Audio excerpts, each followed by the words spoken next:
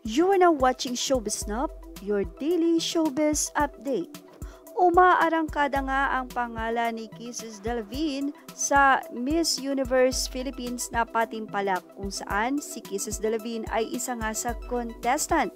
At sa naging headshot ka or headshot challenge, Universe Page 2021 ay nanguna nga itong si Kisses Delavine sa nasabing kandidata.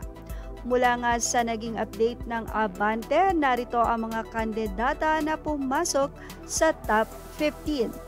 Isabel De Leon Santos top 15, Mirjan Hipolito 14, Jedida Herverbes, Coronibona 13, Angela Nike de Gran 12, Cherry Angel Ann Flejoles 11, Camille Alisa Quinola 10, Noelin Rose Campos 9 at narito naman ang top 10.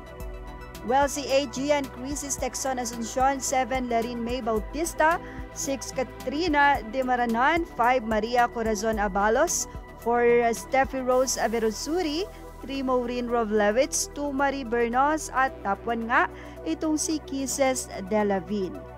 Marahil kilala kasi si Kisses Dalvid bilang artista at alam naman natin na siya ay mula sa PBB housemate ng uh, ABS-CBN. Pero ngayon ay nasa pangangalaga na ng uh, AAA ang uh, career ni Kisses Delavine. Sa nangyaring ang headshot na ito ay makikita na kahit na nga hindi active sa telebisyon itong si Kisses Delvin at hindi rin siya active sa kanyang mga social media ay very active naman ang kanyang mga fans. Sa kanyang Instagram ay may mahigit na dalawang milyon na followers itong si Kisses Delavin kaya naman hindi malabo na hindi niya masungkit ang top 1 sa headshot.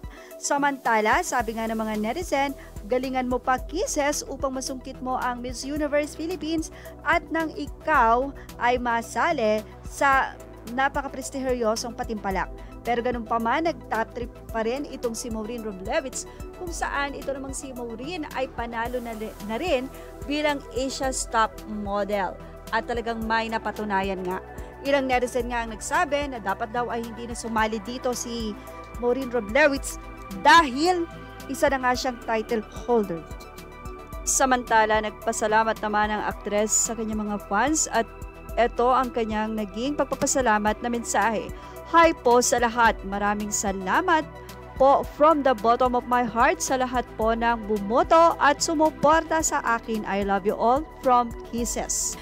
Iyan ang ating showbiz snap update. Ano ang masasabi nyo dito? Kung kayo ang tatanungin, sino ang gusto nyong maging representative ng Pilipinas sa 2021 Miss Universe? Ilagay ang inyong opinion sa ating comment section. Images are all credit to the rightful owners. Thank you for watching Showbiz Now.